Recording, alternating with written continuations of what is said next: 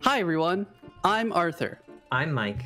And I'm Michelle. and we're here today to talk about our plans for the future of Fullmetal Analysts. We have a lot of ambitious ideas for bonus episodes and special series, but the thing is, those ideas take time and money.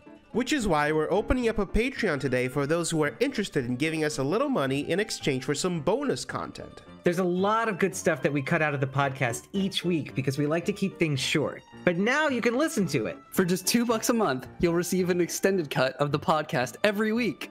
That's right, this episode contains a game show segment we cut out of a recent episode. And that's just one of the many types of extra content you'll get in your extended editions. But that's not all. You also get those extended episodes a week early, which means you could be listening to next week's episode right now. All of this for just $2, and every cent counts. This money will be going directly towards helping the podcast, funding better equipment, and supporting future plans. If you don't feel like paying, that's okay. The regular episodes will still be just as fun and just as analytical as they were before. But if you can throw a couple of bucks our way, it'll help us work on some of our bonus episode ideas, which include FMA movie reviews, FMA Let's Plays, RPG games, and maybe even a watch along series for the 2003 FMA series. If you want us to make more content like our episode on the real history of alchemy, this is the way to do it. so check us out on patreon.com slash fmanalysts.